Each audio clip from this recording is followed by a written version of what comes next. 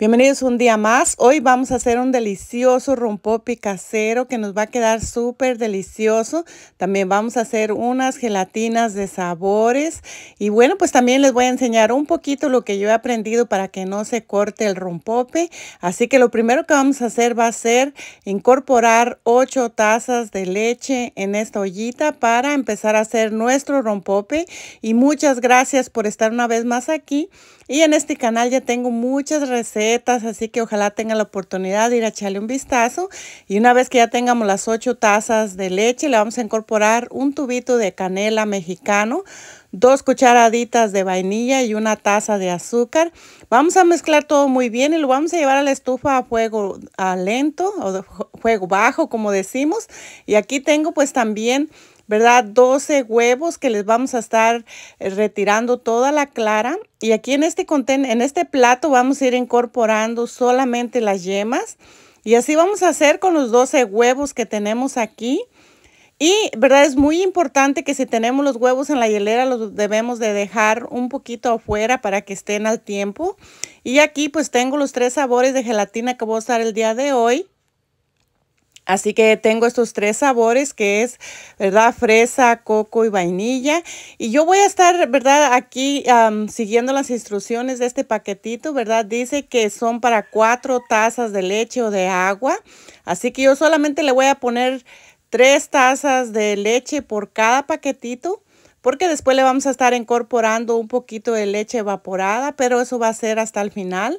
Y bueno, pues aquí vamos a incorporar 9 tazas de leche y las vamos a llevar también a la estufa y ahí las vamos a dejar, ¿verdad? Que se caliente muy bien la leche.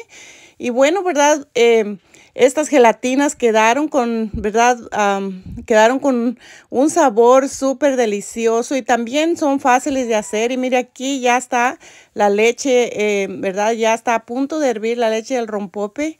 Y la leche de las gelatinas ya está caliente, así que una vez que esté caliente yo voy a incorporar tres tazas aquí en mi plato.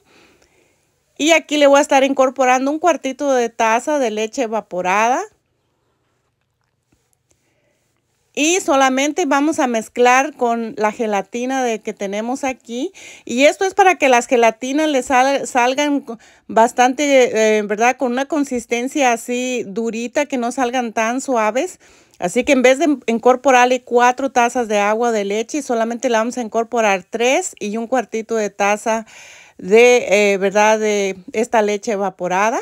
Y bueno, pues así vamos a hacer con los demás sabores. Así es que aquí ya tengo tres tazas de, ah, ¿verdad? De leche caliente en cada uno de los platos. Le incorporamos un cuartito de taza de leche evaporada y solamente vamos a incorporar nuestra gelatina aquí y vamos a mezclar ambos sabores y colores. Así es que estas, estas gelatinas quedaron súper deliciosas y bueno, pues mis familias la disfrutaron muchísimo. Así que una vez que hayamos mezclado todo muy bien, yo las voy a dejar reposar un poquito para que cuando las incorporen los vasitos que las voy a incorporar, pues no esté tan caliente. Así que mientras nuestra gelatina se enfría un poquito, podemos ver que ya la leche que tenemos aquí para el rompope ya ha hervido muy bien. Tenemos que dejar que la canela suelte su, su verdad, su sabor. Y una vez que ya haya hervido, la vamos a retirar del fuego. Es muy importante retirar del fuego la leche. Y voy a estar sacando un poquito aquí en esta taza porque la voy a estar necesitando. Así es que yo le voy a incorporar un cuartito de taza de maicena. Esta es maicena, así es que, ¿verdad? Le voy a incorporar el cuartito de taza. Y yo se lo voy a incorporar aquí a las yemas que tenemos. Y voy a incorporar todo esto al vaso de la licuadora para que se muela muy bien con todo. Y aquí le voy a estar incorporando también, más o menos es un cuartito de leche evaporada, ¿verdad? Un cuartito de taza. Así que le voy a estar incorporando un poquito de leche de la que teníamos ya en la taza y vamos a moler muy bien y una vez que hayamos molido todo muy bien, se lo vamos a ir incorporando a nuestra olla que teníamos aquí ya lista y no vamos a dejar de mover y tampoco debemos de prenderla en este momento, solamente con lo calientito que estaba la leche para que el huevo no se nos vaya a cuajar. Y ahí lo voy a estar batiendo aproximadamente unos 6 minutos. Así que me quedó un poquito de leche en la taza, se la voy a incorporar. Y es muy importante no prender la cacerola en este momento hasta que hayamos incorporado todo muy bien. Vamos a batir por seis minutos y una vez que hayamos batido muy bien por seis minutos, vamos a prender de nuevo la estufa y ya no vamos a dejar que nuestro rompope eh, hirva, ¿verdad? Solamente vamos a dejar que todo se cocine y nos quede. Y ya cuando veamos que está espesito como este, ya está listo. Cuando esté a punto de hervir, ya no lo vamos a dejar hervir. Y miren qué lindo que queda. Y tiene un aroma súper de deliciosa. Así que ya nos quedó listo nuestro rompope. Lo vamos a dejar enfriar un poquito. Y mientras tanto, nuestras gelatinas ya están más tibias, ya no están calientes. Así que yo las voy a ir incorporando en estos vasitos. Y aquí le vamos a incorporar más o menos, ¿verdad? Esta cantidad que no estén tan llenas para que así podamos incorporarle el rompope más tarde. Así que vamos a ir aquí preparando todas nuestras gelatinas. Vamos a ir incorporándolas en los vasitos.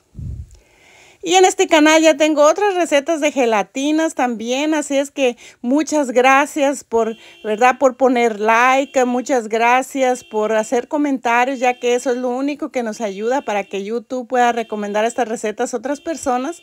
Muchas gracias por todo su apoyo, todas las personas que, ¿verdad? Ven estas recetas, muchísimas gracias a cada uno de ustedes.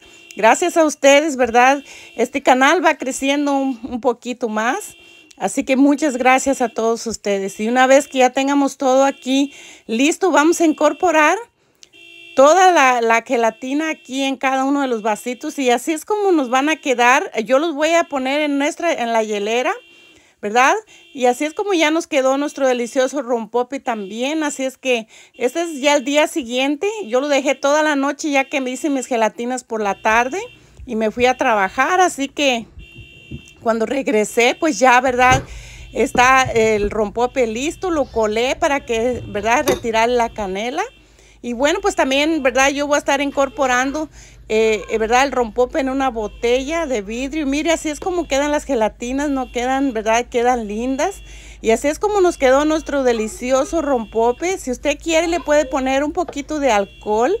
Pero en verdad no se necesita porque, verdad, eh, yo lo quiero para mis nietas que están chiquitas, así es que para toda la familia, pero especialmente pues va a ser para los niños. Así que mire, así es como nos quedó nuestro delicioso rompopi del día de hoy. Así es que muchas gracias por estar una vez más aquí.